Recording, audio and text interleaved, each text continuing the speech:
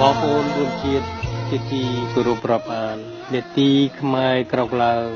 បានមកជួបបងប្អូនសាជាថ្មីទៀតហើយកាលពីសប្តាហ៍មុនខ្ញុំបានជូនទស្សនៈរបស់ខ្ញុំ តែបានលើកយកបញ្ហាការបោះឆ្នោតជាតិសម្រាប់អាណត្តិក្រោយនេះ ដែលរដ្ឋាភិបាលកញ្ចេះយួននៅភ្នំពេញបានសម្រេច ជាឯកច្ឆាននៅថ្ងៃ29កក្កដា2018ខាងមុខនេះដោយទាំងមិនព្រមអនុញ្ញាតឲ្យគណៈបកសង្គ្រោះជាតិដែលជាគណៈបកប្រចាំធំជាងគេឲ្យចូលរួមក្នុងការបោះឆ្នោតជាតិនេះដាច់ខាតរួចមកហើយខ្ញុំបានលើកយកហេតុផលសពបែបយ៉ាងដែលគណៈបកកញ្ចេះយួននេះ បានរកវិធីដ៏ព្រីផ្សៃបំពេញលើច្បាប់រដ្ឋធម្មនុញ្ញ គឺនារីឆានហ៊ុនសែនបញ្ជាឲ្យកងកម្លាំងបណ្ដាប់អាវុធទៅចាប់លោកកឹមសុខាប្រធានគណៈបកទាំងមានអភ័យឯកសិទ្ធដោយទាំងគ្មានដីកាចាប់ខ្លួនពីតុលាការនិងចាប់រំលោភសិទ្ធិបុគ្គលដែលកំពុងដេកគឺនៅពាក់អាត្រៀតដូច្នេះកម្ពុជានៅក្រោមរបបនារីឆានហ៊ុនសែនបានធ្វើឲ្យកម្ពុជាមិនមែនជានីតិរដ្ឋគឺគេប្រើច្បាប់ ព្រៃទៅវិញលើសពីចាប់លោកកឹមសុខាដេរិឆាននេះមិនបញ្ឈប់ត្រឹមនេះទេគេបានប្រើល្បិចថោកទាបបំផិតបំពេញលើច្បាប់រដ្ឋធម្មនុញ្ញគឺគេធ្វើវិសោធនកម្មគណៈបកដើម្បីរំលាយគណៈបកសង្គ្រោះជាតិដោយប្រើតុលាការមិនឯករាជ្យគឺទូអង្គចៅក្រមសុទ្ធតែជាបកជន ដែលមកពីគណៈបកប្រជាជនទាំងអស់មកកាត់សេចក្តីក្នុងការរំលាយគណៈបកសង្គ្រោះជាតិដោយចោទប្រកាន់ថាលោកកឹមសុខា ជាប្រធានគណៈបកនេះជាជនក្បត់ជាតិហើយរឿងចោទលោកកឹមសុខាជាជនក្បត់ជាតិនេះទៀតសោតក៏គូឲ្យឈឺចាប់ខ្លាំងណាស់ព្រោះការចាប់លោកកឹមសុខាជាប្រធានគណៈបកសង្គ្រោះជាតិនេះជាង6ខែទៅហើយតែតុលាការរកកំហុសជាក់ស្ដែងពីបទ ក្បត់ជាតិនេះមិនឃើញសោះតែនារីឆានហ៊ុនសែននៅតែមិនដោះលែងលោកទៀតតាមការចោទប្រកាន់ពីបទក្បត់ជាតិនេះ បើរោគកំហុសមិនឃើញទេអ្នកដើមបណ្ដឹងត្រូវតែដោះលែងអ្នកចុងចោតបានសេចក្តីថាបើលោកកឹមសុខាគ្មានកំហុសទេហើយគណៈបកសង្គ្រោះជាតិมันអាចរំលាយបានដាច់ខាត គឺរដ្ឋាភិបាលហ៊ុនសែនត្រូវតែបកគល ភាពត្រឹមត្រូវទៅគណៈបកសង្គ្រោះជាតិរួមនឹងមន្ត្រីជាន់ខ្ពស់ទាំង118រូបទៅសងអស់លោកទៅនោះវិញទើបសមមានឈ្មោះថាជាប្រទេស ដែលគោរពច្បាប់រដ្ឋធម្មនុញ្ញនិងគោរពលទ្ធិប្រជាធិបតេយ្យពិតប្រាកដពេលនេះបងប្អូនបានឃើញភាពគំរក់ថោកទាបនៃរបបនារីឆាននេះច្បាស់ហើយ គឺគ្រាន់តែខ្លាចគណៈបកខ្លួនចាញ់ឆ្នោតគណៈបកសង្គ្រោះជាតិក៏ស្រាប់តែបង្កើតជារឿងរ៉ាវផ្សេងផ្សេងហើយចោតគេដោយឥតមានការអៀនខ្មាស់សោះនេះជាអំពើថោកទាបដែលគួរឲ្យខ្មាស់អៀនសម្រាប់មនុស្សមានពូជអម្បូរល្អខ្លាំងណាស់ឥឡូវនេះបងប្អូនរួមជាតិបានឃើញភាពថោកទាបនៃពួកគណៈបព្វជិជនកម្ពុជាដែលមាន នារីឆានហ៊ុនសែនជាអមគុទេសនេះហើយតើបងប្អូនរួមជាតិគួរទុកឲ្យគណៈបកនេះដឹកនាំប្រទេសតទៅទៀតបានដែរឬទេមិនបានទេបងប្អូនបើទុកឲ្យគណៈបកយួននេះបន្តមួយអាណត្តិទៀតមេដាកម្ពុជាយើងនឹងប្រែក្លាយជាប្រទេសចម្ប៉ាឬកម្ពុជាក្រោមទី2មិនខានឡើយបងប្អូនបានលឺនិងបានឃើញនឹងភ្នែករួចមកហើយ តើដេរីឆានហ៊ុនសែនបានបើកដៃឲ្យនិគមជនយួនមករស់នៅ ក្នុងប្រទេសយើងដោយសេរីបែបណា តាមឯកសារថ្មីថ្មីនេះនិគមជនយួនបានសម្រុកមករស់នៅក្នុងប្រទេសកម្ពុជាយើងលើសពី5លានអ្នកទៅហើយបាទសូមបើកមុខចោនេះជាសម្ដីរបស់លោកឌីការ៉េតគណៈកម្មាធិការព្រំដែនកម្ពុជានៅប្រទេសបារាំងបាទសូមបិទមុខចោវិញ ឯលោកសំរងស៊ីបាននិយាយនៅក្នុងពេលថ្មីថ្មីនេះថាគាត់មានអារម្មណ៍ដឹងខ្លួនថាខ្មែរយើងរស់នៅក្នុងប្រទេសរបស់ខ្លួនឯងដូចជាដឹងខ្លួនថាខ្មែរមានចំនួនតិចជាងនិគមយួនទៅហើយមួយចំណុចទៀតដេរិឆានហ៊ុនសែនមិនខ្វល់ពីប្រជាពលរដ្ឋខ្មែររាប់លានអ្នកបានធ្វើចំណាកស្រុកចេញទៅប្រទេសជិតខាងជិត2លានអ្នកទៅហើយដែរនេះ ជាមហាគ្រោះថ្នាក់ដល់មេដាកម្ពុជាដ៏សាហាវបំផុតបើសិនជាខ្មែរគ្រប់រូបប្រងើយកន្តើយនឹងរឿងខ្មែរធ្វើចំណាស្រុក ហើយចេះតែបើកព្រំដែនឲ្យយួនចូលមកស្រាញ់ចិត្តឥតច្បាប់ទម្លាប់តទៅទៀតនោះហើយវាមិនមែនមានតែបញ្ហាចំណាក់ស្រុកប៉ុណ្ណោះទេ គឺវាមានបញ្ហារាប់មិនអស់ថែមទៀតដូចជាព្រីឈើ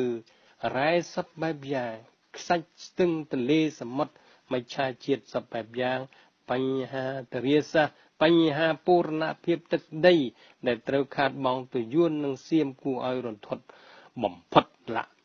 និយាយមករួមមកវិញបើបងប្អូនរួមជាតិនៅតែបណ្ដោយទុកឲ្យរាជរដ្ឋាភិបាលហ៊ុនសែននេះ នៅបន្តអំណាចតែមួយអាណត្តិទៀតមេដាកម្ពុជាយើងនឹងចប់ហើយ បងប្អូនរួមជាតិជាទីគោរពរាប់អាន ពីសប្តាហ៍មុនខ្ញុំបានជូនយោបល់និងបង្ហាញនៅដំណោះស្រាយអំពីការបោះឆ្នោតនៅថ្ងៃទី29កក្កដារួចមកហើយ តែទន្ទឹមនឹងការយល់ឃើញរបស់ខ្ញុំ ខ្ញុំក៏បានឃើញបងប្អូនខ្លះបែរជាបញ្ចេញមតិមិនស៊ីចង្វាក់ជាមួយនឹងមហិច្ឆតាបោកប្រាស់របស់ដេរិឆាហ៊ុនសែនសោះ ក្នុងបញ្ហានេះខ្ញុំមើលឃើញ មនុស្សពីរក្រុមនាំគ្នាជួយជំរុញឲ្យដេរិឆាហ៊ុនសែនបន្តកាន់អំណាចតទៅទៀតគឺក្រុមទី1គឺក្រុមអ្នកផ្កាប់មុខចង់ជួយឬអែបអបផ្ញើសំណាងទៅនឹងរបបឌីរិឆានហ៊ុនសែនដែលជាអ្នកបំផ្លាញមេដាកម្ពុជាដូច្នេះក្រុមពួកអស់លោកនេះ ជាក្រុមក្បត់ជាតិជាក្រុមជួយបំផ្លាញមេដាកម្ពុជាឲ្យរលាយយ៉ាងឆាប់បំផុត ក្រុមទី2ក្រុមដែលចង់ស្វែងរកលៀបសការៈដោយនឹកស្មានថាក្រុមខ្លួនដែលបង្កើតបានជាគណៈបកមួយហើយចូលទៅប្រកួតក្នុងចំណោមបកដទៃទៀតដោយសង្ឃឹមថាគណៈបកខ្លួនអាចបានអាសនៈក្នុងសភាខ្លះក្រុមនេះខ្ញុំមិនគ្រប់គ្រងទេព្រោះអ្នកឯងត្រូវដឹងថាពួកអស់លោកឯងនេះมันអាចយកឈ្នះលើគណៈបកប្រជាជនបានដាច់ខាត ព្រោះគណៈបកប្រជាជនជាគណៈបកលេខ1ខាងលួចបន្លំ ជាគណៈបកចោលលួចជាតិដូច្នេះពួកក្រុមអស់លោកជាក្រុមត្រជើងក្រែឲ្យដេរិឆានហ៊ុនសែនធ្វើជានាយករដ្ឋមន្ត្រីដើម្បីបំផ្លាញមេដាកម្ពុជាឲ្យរលាយបានយ៉ាងឆាប់បំផុតទៅវិញទេ ក្នុងគណៈនេះតាមដឹងពីក្នុងស្រុកមក ថាមានបងប្អូនខ្មែរជាងមួយជំហៀងប្រទេសដែលធ្លាប់ស្រឡាញ់និងទុកចិត្តលើគណៈបកសង្គ្រោះជាតិលោកបានសម្រេចចិត្តមិនទៅចូលរួមក្នុងការបោះឆ្នោតនៅអាណត្តិដែលឌីរីឆានហ៊ុនសែនបានកំណត់នៅថ្ងៃ29កក្កដាខាងមុខនេះឡើយដោយលោកយល់ថាគណៈបកណាក៏ដោយឲ្យតែទៅចូលរួមបោះឆ្នោតនោះ មានន័យថាជាពួកស្វែងរកលៀបសការៈ គឺសុទ្ធតែជាក្រុមមនុស្ស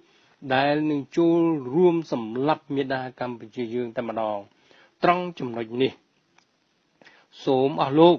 ដែលបានសម្រេចចិត្តធ្វើបែបនេះគិតមើលផងចោះតើអស់លោក មានគិតឃើញទេថាចាប់ពីសន្ធិសញ្ញាសន្តិភាពទីក្រុងប៉ារីសកើតមកតាំងពីឆ្នាំ1991តើដេរិឆានហ៊ុនសែនដែលគោរពសន្ធិសញ្ញានេះម្ដងណាទេ ចម្លើយគ្មានតលតែសោះគឺមានតែការគម្រាមធ្វើអបគុំមានតែការគម្រាមកំហែងសម្លុតសម្លាប់លួចសន្លឹកឆ្នោតសោកប៉ាន់និងប្លន់សន្លឹកឆ្នោតដោយប្រើរទេះតង់ដូចឆ្នាំ2013ជាដើមនិយាយរួមមកឌីរិឆាននេះមិនដែលគោរពឆន្ទៈរបស់ប្រជាពលរដ្ឋជាម្ចាស់ប្រទេសម្ដងណាឡើយគឺវាជន់ឈ្លីលើសិទ្ធិសេរីភាពរបស់ប្រជាពលរដ្ឋជាម្ចាស់ប្រទេសតាមអំ ពើព្រីផ្សៃរបស់វា ព្រោះវាជាអតីតខ្មែរក្រហមនោះអីបងប្អូនរួមជាតិជាទីគោរពប្រាប់អានខ្ញុំចាស់ហើយតែមុននឹងខ្ញុំលាលោកនេះទៅខ្ញុំសូមអង្វរដល់បងប្អូនកូនក្មួយទាំងអស់គ្នាភ្ញាក់ក្រោកឡើង រួមគ្នាជួយសង្គ្រោះជាតិមាតុភូមិយើងបានដែរឬទេមេដាកម្ពុជាយើងមកដល់ដំណាក់កាលមួយដ៏សែនធ្ងន់ព្រោះ អកុសលមេដឹកនាំប្រទេសវាជាអាយ៉ងយួននិងជាអាយ៉ងចិនថែមទៀតម្លោះហើយ វាមិនអាចការពារប្រទេសជាតិខ្មែរឲ្យនៅគង់វង្សជាខ្មែរបានទៅទៀតទេមធ្យោបាយមានតែមួយ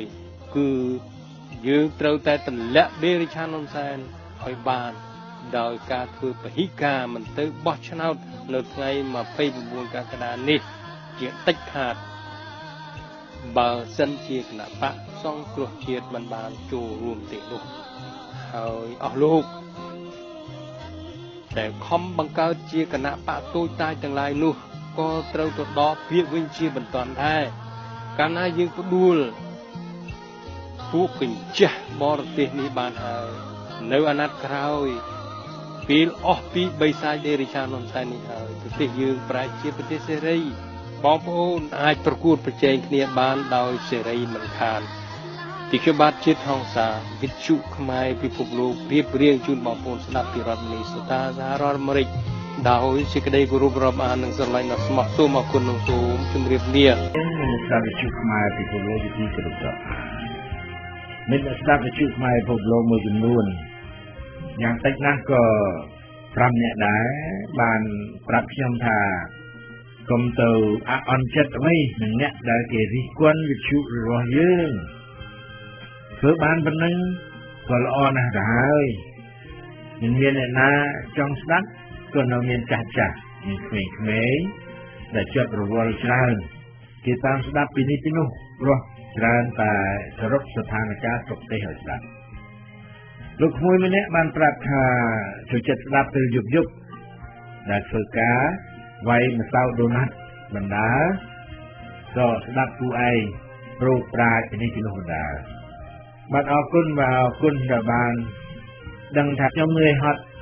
អត់ងុយស្ទើរតែរាល់ថ្ងៃមិនទៅទេឥតប្រយោជន៍នោះទេមានមិត្តអ្នកស្ដាប់ខ្លះទៀត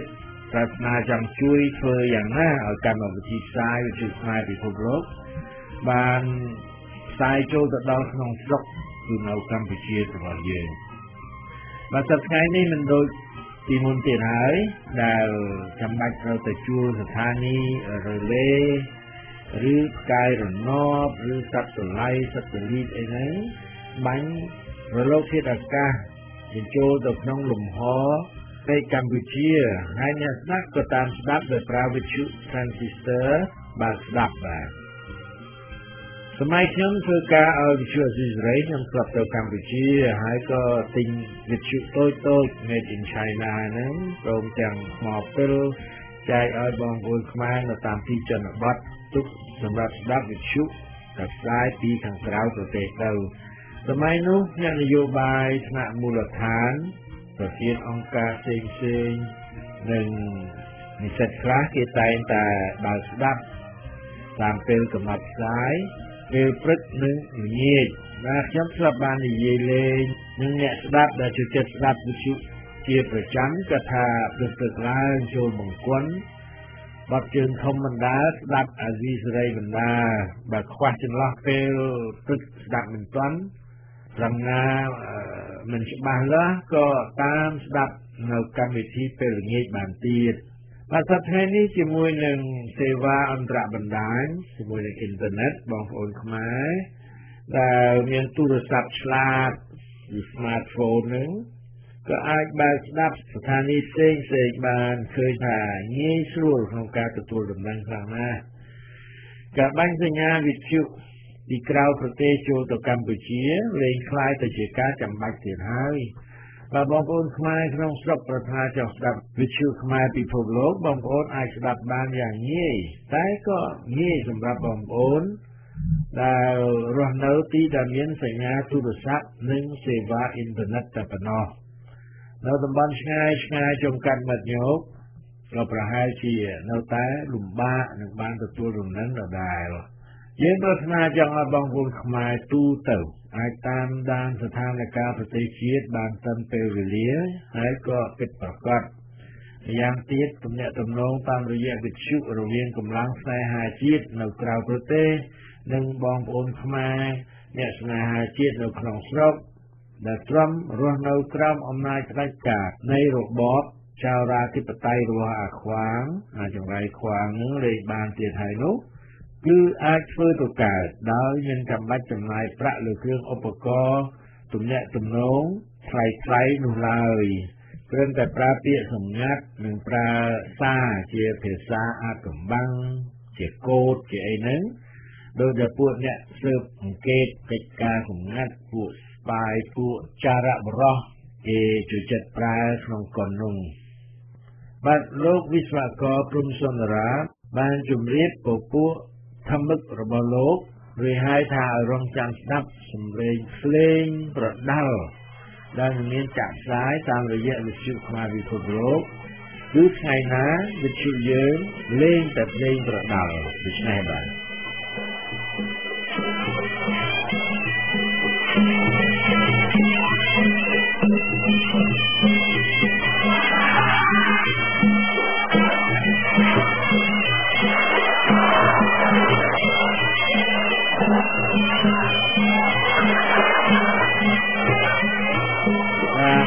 ព្រេងនេះហើយគឺបានសេចក្តីថាពេលដល់ហើយបងប្អូនខ្មែរអ្នកស្នេហាជាតិត្រូវតែក្រោកឡើងព្រមព្រំគ្នាបាទខ្ញុំមិនបានដឹងរឿងរ៉ាវនៃបេសកកម្មរំដោះជាតិរបស់លោកវិស្វករជ្រៅជ្រះប៉ុន្មានទេព្រោះសុទ្ធតែជារឿងសម្ងាត់រឿងបែបនេះវារសើបខ្លាំងណាស់បាទម្យ៉ាងទៀត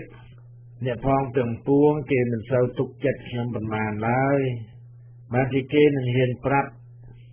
ការសម្ងាត់ផ្សេងផ្សេងព្រោះគេដឹងថាខ្ញុំវាមិនដាច់មិនសូវដឹងរឿងតែចូលចិត្តគួតធ្វើជាដឹងបើគេប្រើខ្ញុំក៏តែពេលដែលគេចង់បំផិនស្មារតីពួកអាចោព្រៃខ្វាងតែប៉ុណ្ណោះគឺបើគេត្រៀមលើកតបទៅវាយមែនទេនោះគេក៏នឹងប្រាប់ខ្ញុំថាគេឈប់ធ្វើសកម្មភាពទៀតហើយព្រោះអត្ថប្រយោជន៍ ដូច្នេះគេមូកន្ទេវសាមុងត្រឡប់ផ្ទះវិញអស់ហើយបាននេះក្រុមច្រើនក្រុមណាដែលឮថាកំពុងទៅរកផ្លូវផ្ដួលរំលំរបបកញ្ចេះយួនកញ្ចេះចិនរបស់អាខ្វាងគេនឹងមិនរំលំវាមិនដេចបានបើវាបណ្ដោយឲ្យស្រុកខ្មែររលាយទ្រព្យសម្បត្តិធនធានធម្មជាតិទាំងលើដីក្នុងទឹកក្រោមដីបាតសមុទ្រ បើវាលេបកម្ពុជាមិនបានទេយ៉ាងហោចណាស់ពួកអាកន្តោបវាក៏បានបើជញ្ជក់កម្ពុជាទៅតែស្លាំងអស់ហើយដែរហើយពីលើអាកន្តោបក៏មានពួកចិនមកទៀតបាទឥឡូវក៏ព្រឹកទៅក្រែងហើយចិននេះចូលមកស្រុកខ្មែរវល់លៀនហើយពេលនេះបាទគេថាអញ្ចឹងនៅឯខាងស្រុកយួនហ្នឹងក៏មិនចាញ់ស្រុកខ្មែរប្រហែលទេមែនទេហ្នឹងចិននៅស្រុកយួនហ្នឹងវាច្រើនសម្បើមណាស់ ព្រោះថាយួនស្រាប់ចាប់ជំពាក់វគ្គវិនជាមួយនឹងចិនមកយូរហើយបាទសូមឲ្យចិនជួយតាំងពីសម័យសង្គ្រាមឌៀនឌៀនហ្វូមកម្ល៉េះមែនទេនោះដូច្នេះយួនជំពាក់ចិនហើយខ្មែរក៏ជំពាក់យួនបាទវាតគ្នាអញ្ចឹងទៅវាហិនហោចអស់ទៅពេលអនាគតច្បាស់ណាស់យើងទាំងអស់គ្នាអាចស្មានបានទៅហើយថាក្នុងតំបន់អាស៊ីភាគអាគ្នេយ៍នេះ ក៏នឹងคล้ายទៅជាក្រោយផ្ទះរបស់ចិនបាទគឺនឹងមានចិនចូលមកនៅផ្ទះពេញមិនមែនយួនទេយួនមានតែ100លានខណៈដែលចិនមានដល់1400លានទៅហើយវាត្រូវការទឹកដីដូចតែគ្នាហ្នឹងបាទវាត្រូវការទីចុកបុកសំពីដូច្នេះត្រូវតែមករកកន្លែងដែល បង្កបង្កើនផលបានហើយនៅស្រុកខ្មែរក៏ជាកន្លែងនៅទំនេរនេះច្រើនព្រោះវាធ្វើបាបអ្នកស្រុកបាត់ខ្មែរអ្នកក្រីក្រវេទនាខ្លាំងណាស់ព្រោះរដ្ឋាភិបាលចង្រៃហ្នឹងវាអត់មានយកចិត្តទុកដាក់អីទេលោកអ្នកនាងជ្រាបហើយបានមានមិត្តអ្នកស្ដាប់ខ្លះគេបារម្ភថាកាលណាកំចាត់អាខ្វាងចេញបានហើយតើនឹងបានមន្ត្រីពីណាមកកាត់ការមុខតំណែងផ្សេងផ្សេងក្នុងប្រទេសនោះ បាទរឿងនេះខ្ញុំថាកុំព្រួយអីគេបដូរតែក្បាលម៉ាស៊ីនដឹកនាំគឺមានអានរកខ្វាងជាប្រមុខតែប៉ុណ្ណោះទេកំចាត់មេចៅនិងពួកអាកូនចៅអាក្រក់អាក្រក់តែប៉ុណ្ណឹងកម្មាភិបាលគ្រប់គ្រងទូទៅនៅបន្តបំពេញតួនាទី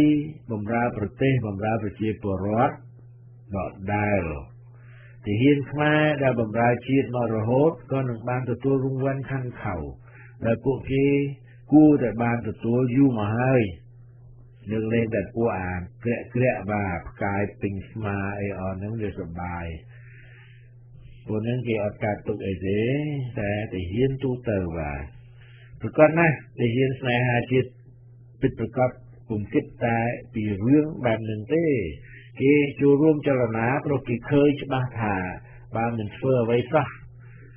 ក្នុងមិនប្រមាណឆ្នាំទៀតកម្ពុជាក៏លែងជារបស់កម្ពុជាជនទៀតហើយលោកអ្នកនាងមានស្ដាប់ជាទីគោរពរាប់អានមានព័ត៌មានមកថាក្រោយបានឃើញញ៉ាត់ប៊ុនឆៃនៃគណៈបកខ្មែររួបរងជាតិសំទោសអាខ្វាងសន្យាថានឹងមិនក្បត់ទៅចូលរួមនឹងសង្គ្រោះជាតិទៀតហើយ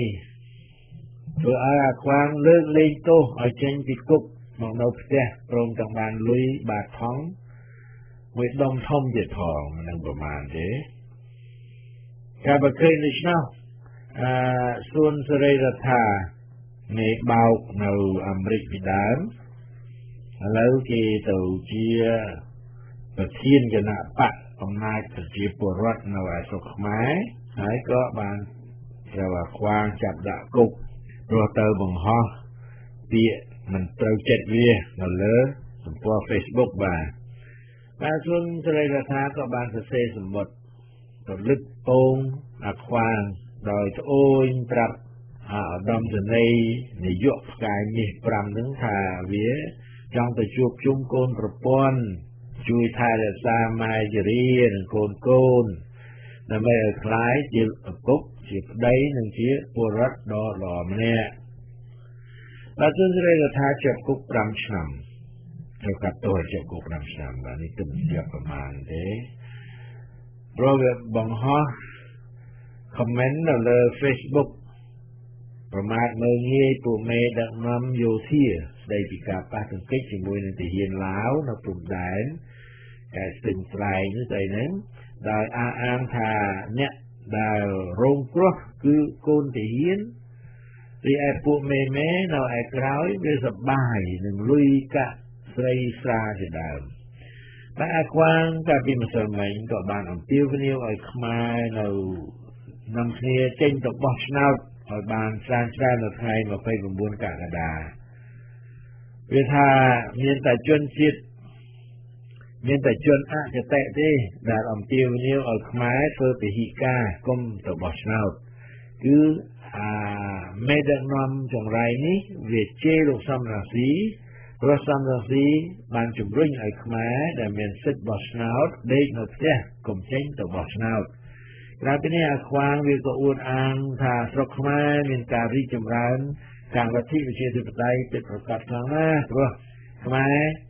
ចេញទៅបោះឆ្នោតមានចំនួនច្រើនជាងនៅសហរដ្ឋអាមេរិកឬអឺរ៉ុបនោះទៅទៀតគឺថាមានដល់ទៅ70%នេះឯនៅអាមេរិកមាន40%នៅអឺរ៉ុបមាន35%អីចឹងបាទវាខំយកអាភាគរយនៃអ្នកចូលឈ្មោះបោះឆ្នោត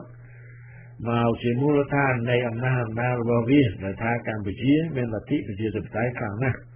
មិនដូចជនអកតេខ្លះ អះអាងទេបាទពាក្យសម្ដីរបស់មេចៅផ្នែកទល់រូបនេះវាក៏ចេះតែនិយាយនិយាយទៅតែប៉ុណ្ណឹងធ្វើមើលតែខ្មែរនិងអន្តរជាតិនឹងគេខ្វាក់ដោយវាមើលមិនឃើញថាគឺវានេះឯងហើយដែលជាដែលជាអ្នកសម្លាប់លទ្ធិប្រជាធិបតេយ្យនៅកម្ពុជានោះរឿងកម្ពុជានឹងត្រូវសហគមន៍អន្តរជាតិដាក់ទណ្ឌកម្មសេដ្ឋកិច្ចឬទេនោះ គឺនៅនឹងបងប្អូនខ្មែរឯនេសមុទ្រចាំបាច់ត្រូវធ្វើសកម្មភាពជាសង្កត់តំណាងរបស់ខ្លួនឬទេនោះដែលតំណាងរាជអាមេរិកកាំងពីគណៈបកទាំងពីរគឺលោក Alan Stewart Lowenthal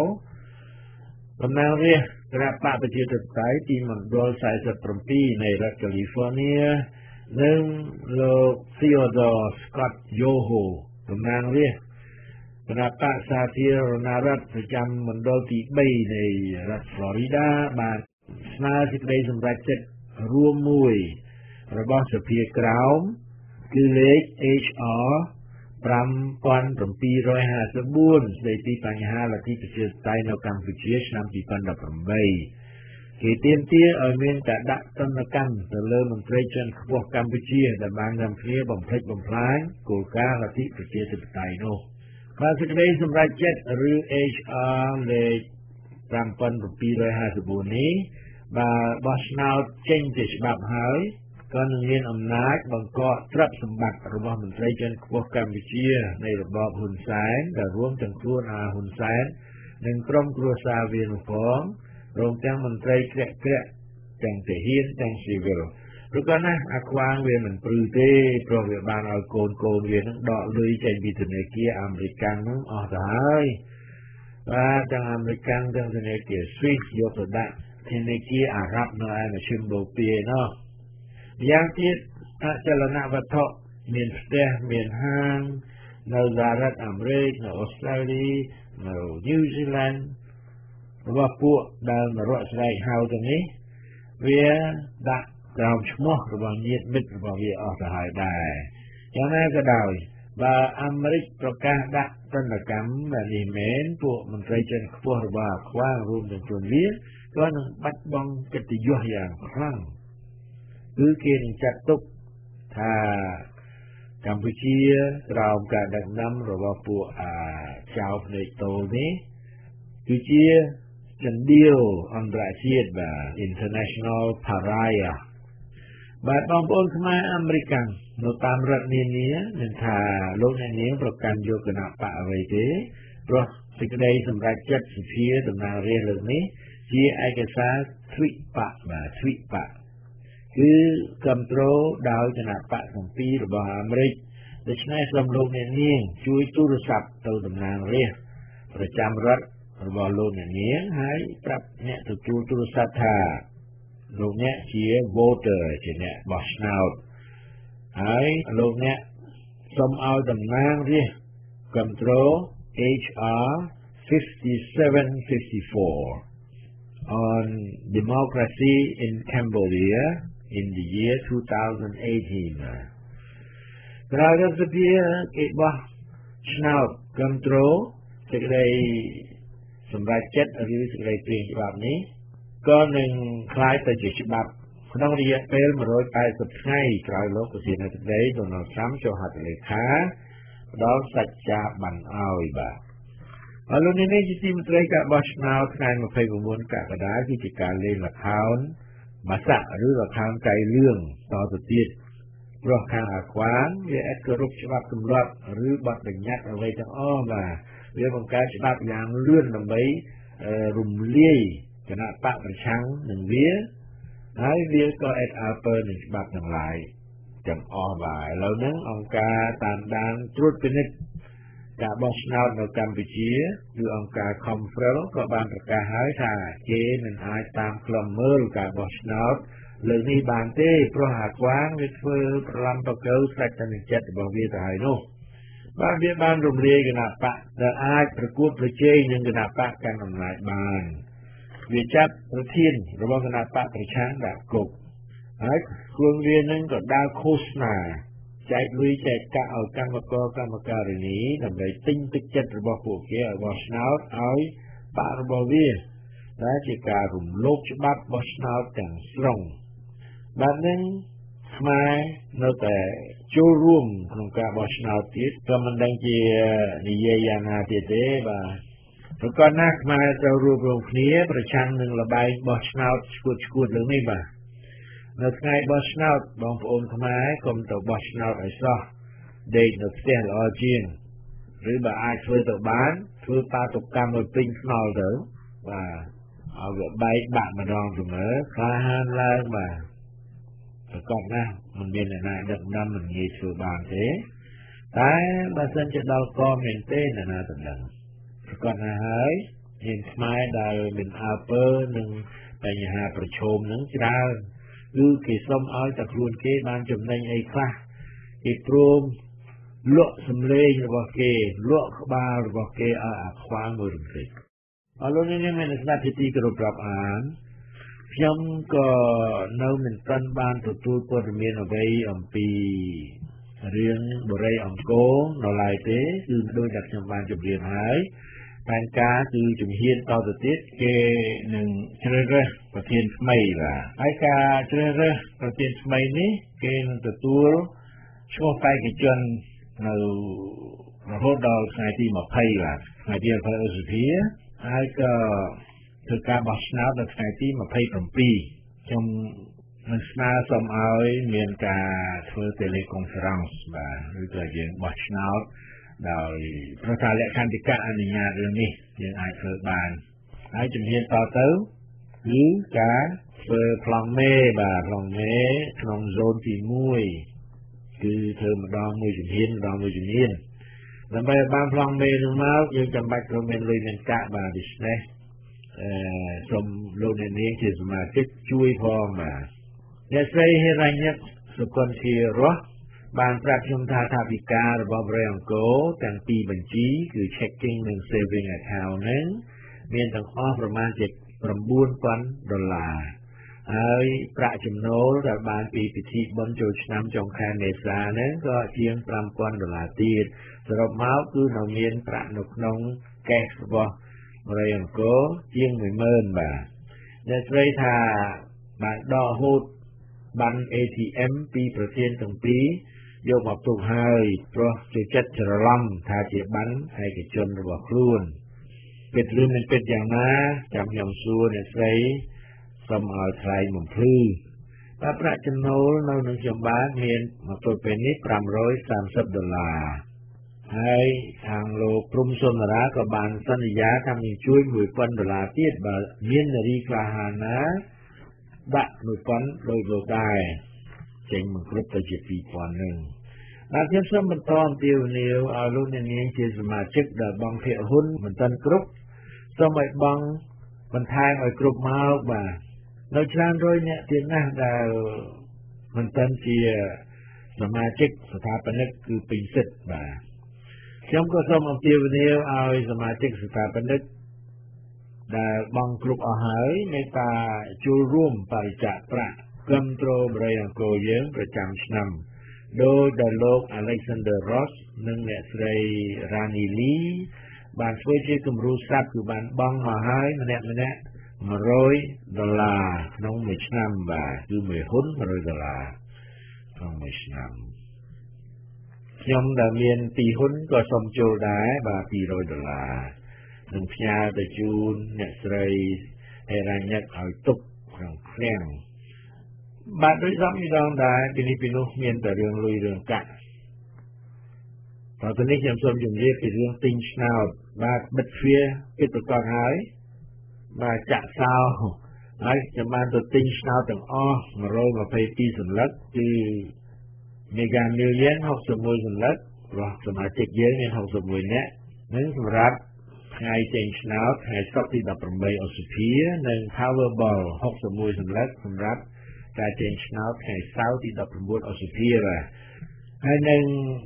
Powerball 61សន្លឹកសម្រាប់ការចេញឆ្នោតថ្ងៃសៅរ៍ទី19ឧសភាបាទខ្ញុំបានផ្ញើ photocopy ទៅជូនសមាជិកអស់ហើយសូមបើកមើលក្នុង inbox email របស់លោកអ្នកនាងលោកអ្នកនាងជាសមាជិក Lotto Pool ដែលមិនទាន់បានទទួលសូមសរសេរ email មកខ្ញុំមកដើម្បីឲ្យខ្ញុំបានជ្រាបបានដឹង ពីអ៊ីមែលរបស់លោកឬអ្នកដើម្បីឲ្យខ្ញុំបានផ្ញើរូបថតរបស់ឆ្នោតដែលទិញហ្នឹងទៅជូនបានតាន់ពេលខណៈនេះក្រោយដែលទិញមួយឈុតដំបូងបាទ120សន្លឹកហ្នឹងហើយសន្លឹក3ដុល្លារមែនទេវា2ដុល្លារប៉ុន្តែយើងថែម1ដុល្លារទៀតដើម្បីយកអា multiplier វាហ្នឹងបាទពីព្រោះវាមានសម្រាប់គុណនឹង3 4 5នេះអញ្ចឹង បាទរង្វាន់ទី2បាន1លានប៉ុន្តែបាន multiplier យើងវាថា5ស្នាទៅចេញមក5អានោះទៅជា5លានអីចឹងបាទអានេះមនុស្សលោភណាវាចេះតែយកវិធីរលុយផងពួកវាសម្រាប់មនុស្សលោភបាទបាទខ្ញុំសង្ឃឹមថាការបណ្ដាក់ទុនលើកនេះនឹងបានកម្រៃខ្លះជាពំខានឥឡូវនេះអឺ Mega Million អា jackpot វានឹងឡើងដល់55លានហើយ រីឯ Powerball រង្វាន់ធំគឺឡើងដល់280លានបាទនិយាយសពទៅក្លែងលុត្រូវបាទជម្រាបលា